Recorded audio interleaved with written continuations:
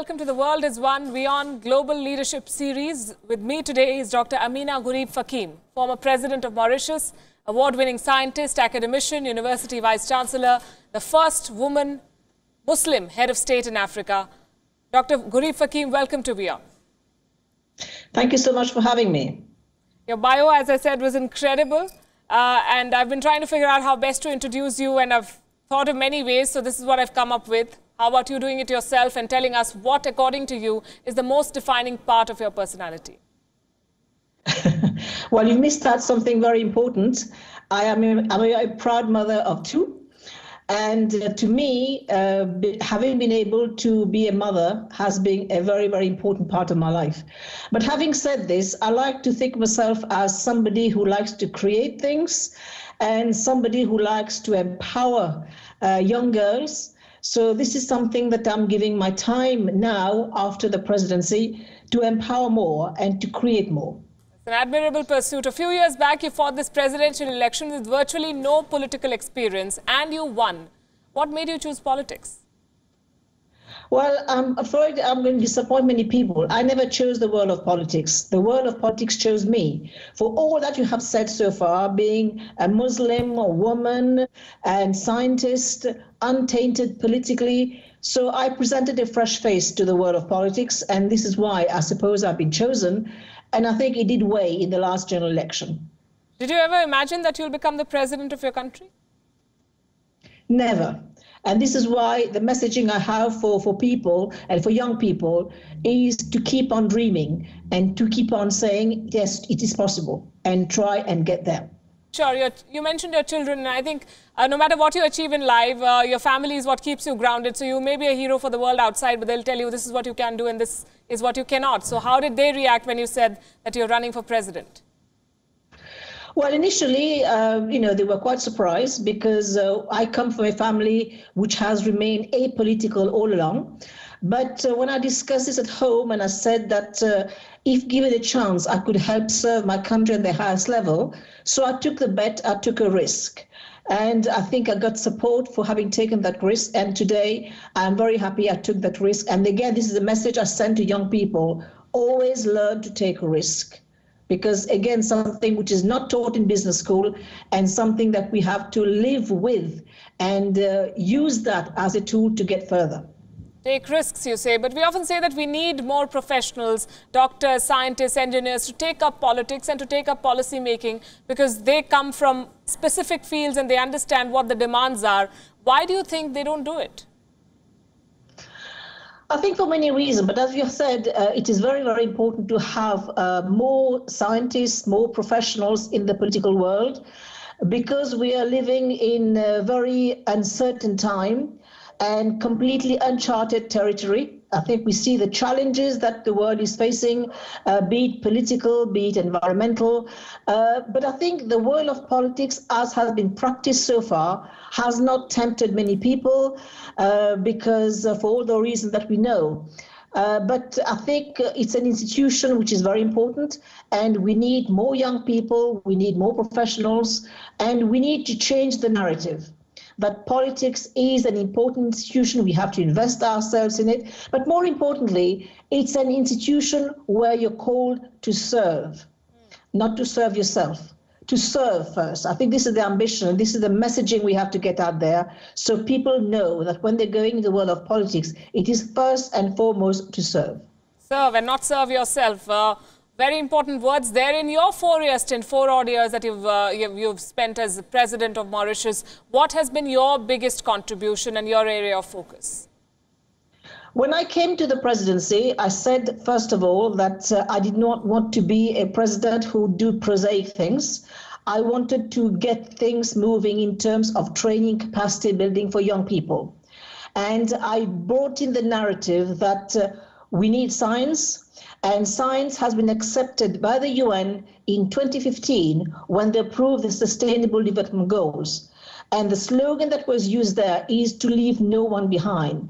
So, what I think has been the defining moment of my presidency has been that we need to empower people with the tools of science so that we can deliver on the SDGs by 2030. And 2030 is not very far away. It's uh, It's there, 11 years.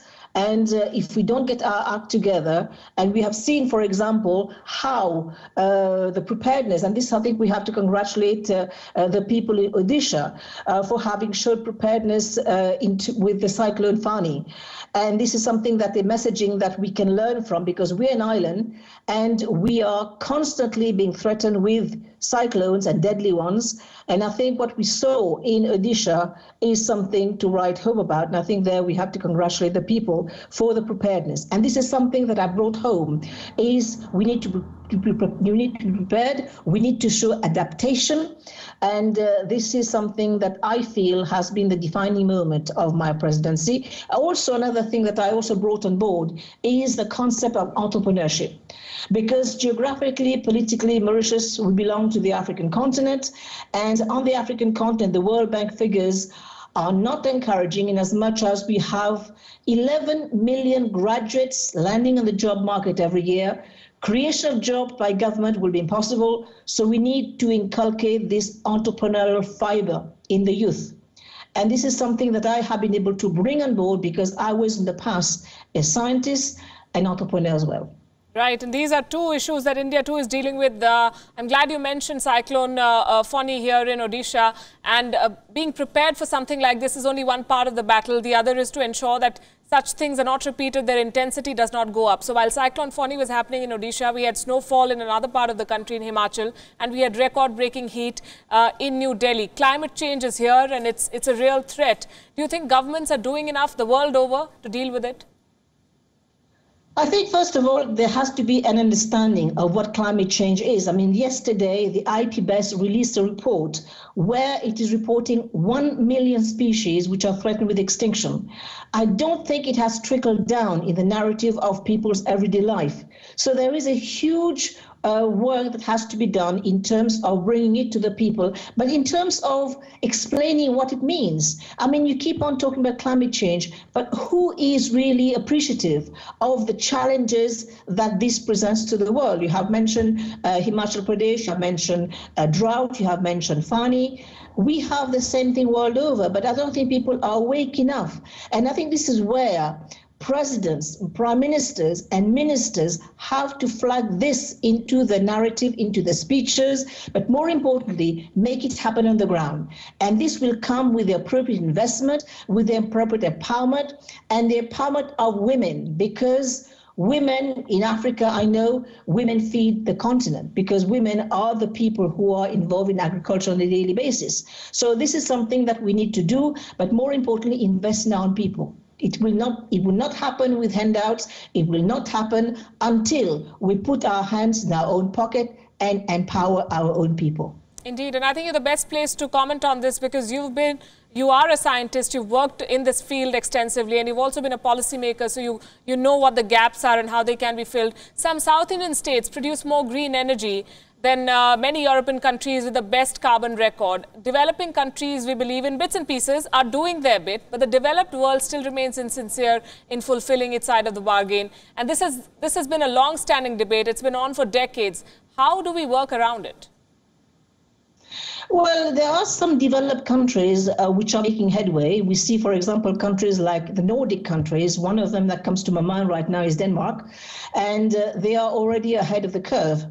Uh, but, you know, in terms of challenges, I think we all have to be appreciative of the fact that those countries which are threatened with uh, these challenges will be developing countries. And uh, again, what we're witnessing in the world is increasing gaps, increasing gaps in inequality, and uh, we see what technology is doing. And uh, when we increase the gap in terms of inequality, which means there's been less resources devoted to these things, and precisely, if you look at Asia as a continent, we find that Asia will be hosting about 3.7 billion people. So the challenges are going to be in the developing world. So how do we empower? How do we ensure the shift? I'm not talking about handouts again, but how do we ensure a global solidarity among world leaders to see to it that those which, who are precisely lower down the rung of the ladder, they are empowered? Because what's going to happen is that those countries, the haves and the have-nots, they will be uh, they will also meet the challenges because we, what, what we're witnessing already is increased migration. And this is becoming an issue in the developed world. So why do people migrate? Why do people want to leave their lands? Why do people want to leave their homes? To, to make to take the risk to travel you know the oceans to get to a better place so i think if we want to actually stop this and make sure that people stay in their countries we need to help them and this is where we call for a global solidarity. You have mentioned the climate change as being an issue which is challenging the world. But again, how are we going to do it alone? How is, for example, a country like Mauritius uh, going to combat increased acidity of the ocean? It can't be done alone. It has to be done regionally. It has to be done with uh, the global uh, population. And we have to ensure that we all look after the global commons. And this is not something we can do alone. This is only this will only be done through partnership and through collaboration. And this would include, I assume, collaboration of the big players like America. So what do you say to people like the US President Donald Trump who still calls climate change a hoax? We are in this boat together. There is no planet B. There is only one this planet. And interestingly, you've mentioned America, but again, America, we have a federal system, and many of the states they are on board. If you look at the, the policy, for example, in San Francisco, I mean, they are fully on board in terms of addressing climate change head on. So I think we all have to do our bit, and uh, we don't need to actually, uh, you know, share the kind of put the blame on others. Everybody has to be empowered. Everybody has to play their part. And here, I also talk about the citizen. Because very often we tend to put a lot of uh, importance we put a lot of emphasis on policymakers but politicians come and go. And we as citizens we have to ensure that we do our bit we teach our kids to do our bit and it's only then that the world will be a better place. Indeed. Since you're a scientist and a politician i must ask you about the science versus faith debate. We often deal with it here in india. Does the twain ever meet That's a very interesting question. You know, science, we base ourselves on facts, on evidence. Uh, faith, you believe. Uh, there are points where they can meet, uh, but I think what we have to admit is that there are instances when you have to agree to disagree. Right. Uh, you've spoken like a politician, I believe, more than a scientist. How do you trace uh, trace back your ancestors to India? Um, uh, my ancestors left Ghazipur in Uttar Pradesh in 1862, and uh, I am the fourth generation people of Indian origin. And uh, recently I got my PIO card, uh, which uh, I'm very proud of. Sure. Do you follow what's happening here in India, especially in Uttar Pradesh, the elections, the temple politics, whatever's going on? Well, India is now a very big player in the world economy. So what happens in India resonates with the whole world. So the whole world is watching, and uh, we wish you all the very best in the general elections. And we hope that uh, uh, the people, that Indian people, that the, that the politicians, the Indian people will vote, will work to the best interest of every single Indian. And a, and a word on uh, the leadership of uh, the current Indian Prime Minister, who's also spoken a lot on climate change on global forums and said that India will do uh, its, its uh, part of the deal. Uh, I think uh, Prime Minister Modi launched the Global Alliance in 2015. In fact, I attended that ceremony in Paris. And uh, India, uh, I think uh, they are already uh, doing their bit in terms of making renewable energy accessible. So we just hope that with the, the, the power, you know, India is a powerhouse in science and technology. And I think they will be able to bring in um, the necessary tools so that people can get access to energy because energy is the lifeblood of any economy. And the more people empowered, uh, the better it's going to be for everyone because India again is going to be one of the biggest uh, uh, source of human capital, young people, and uh, they need to be educated. They need to have access to water, all these basics. And I think that uh, getting the right technology, making technology available, uh, all this will go towards the the you know the well-being of the people of India.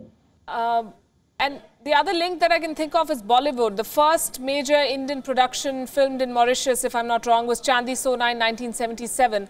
How big is Indian cinema in Mauritius and do you follow any, any of those films? Of course we do. We all do, and I think Bollywood is bigger than uh, India, if I may say so. Uh, it's uh, it's uh, well known across the world, and uh, people have learned Hindi through Bollywood movies. So many Bollywood movies have been made here, and the last one I remember watching uh, the shooting was Kuch Kuch Hota Hai. I you saw the shooting very well. the shooting, yes uh, because it was done in the campus of the University of Mauritius, and I was there working at the time. So you could see all the big Indian stars performing there.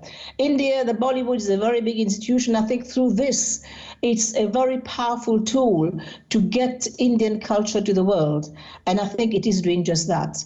And I think it's, uh, it's it should be leveraged in messaging. It should be leveraged in showing the diversity of the Indian people, the Indian culture, and I think this is, of course, uh, the, the, the, you know, the, the basis of what India represents through its culture, through its diversity, through its people, and of course, in terms of numbers, I mean, there's no match. So I think you have everything going uh, to be a role model for the world. And who's your favorite star? Who's the, who's the biggest star in Mauritius, Indian star? Well, there are quite a few, uh, but I must say, if you, if you, can help me get the message across that I'm a great fan of Shah Rukh Khan. we'll do our best, yes. You, you must have met him during the shooting there. No, I was just watching from afar because you know when actors are shooting, you have to just stand from from from afar and watch. Uh, but he's been a great actor, and I think he's been a great ambassador for India. Uh, I saw him in Davos a couple of years ago, and I think he's he's getting the message out of what India represents. Uh, India as a powerhouse for technology, India as a powerhouse for diversity, and of course, uh, India in terms of the future. I think the world uh, has a lot to learn from from India. And I think another great uh, uh, person I have a great admiration for, and I read his books very much. Of course, is Shashi Tharoor. He's a fun Indian intellectual, and also he's sending out the message of what India represents in the world in the future. I can tell you Shah Rukh Khan watches Shashi, uh, watches, watches WION and so does Shashi Tharoor, so hopefully your message will go across. Uh, I also want to go, go back to your journey. As a woman, you made science your calling. As a Muslim woman, you say that you also dealt with religious discrimination. You filed a formal complaint. What has your yes. learning been from these personal struggles, which beyond a point are also the struggles of every woman? Uh, I will tell you, um, you know, a little story. When I was uh, a child, when I was uh, not a child but a, a youngster, uh, I, I was taught I was uh, infected by the virus of science by my teachers, and uh, I remember going to see the career guidance officer, and I asked him, you know, what are the prospects of a woman, of a lady, of a young girl uh, wanting to do chemistry at the time. You know what he said to me? He said to me, you know, you should never do that because science and chemistry is for boys. And a girl like you, when you come back home, there'll be no jobs for you. So I went home and I said to my father, Well, this is what the career guidance officer told me. And he said to me, What are you going to do? I said, I'm going to do science. And I did that. And I followed my heart. And I didn't follow my head. I followed my heart. And this is something that I always done. And uh, I will tell you one thing as well. You've mentioned uh, the Equal Opportunity Commission. You mentioned, you know, all these issues that we have to grapple with, being a woman, being a Muslim, and all the rest of it. I am a product of precisely those challenges. I have learned to get to look at the, the, the, better side of it. I've always looked at the lining and not the cloud, the silver lining all the time. When I was uh, when I when I decided to file that uh, uh, that uh, that petition or that complaint rather to the commission, I had already set up my company. And this is why I had precisely left the university and I set up my own company. And because I set up my own company, because I, I left the university, that I have been able to go in the world of politics. So my my messaging to myself has been always turn around challenges and make them work for you. So th- that's what you have to do. You know, life will never be a bed of roses. Uh, you just have to take the rough with the smooth, but never give up. Never ever give up. That's my messaging. Very inspiring words. Uh, so, what were your thoughts when the Me Too campaign gained ground the world over and women of all descriptions came out and said, This has happened with Me Too? And then there were those who said that this is all a, a, a, a PR exercise, that, that some people have hijacked the agenda. There was a lot of debate. So, so as someone who's lived those struggles, uh, what were your thoughts? Well, I'll just tell you a little story. I went for an interview, I remember, after getting my PhD. And at the time, of course, there was no, no such thing as sensitivity for having gender balancing on the panel. So I was there in front of me. There was a whole panel of middle aged men. And uh, one of the questions I was asked is uh, what will happen to you one day uh, when you decide to have a family? So I turned around and said to one of the gentlemen there, I said, Sir, will you be asking this question to a man who is representing in front of you? Because I knew by that time that I would not be getting the job.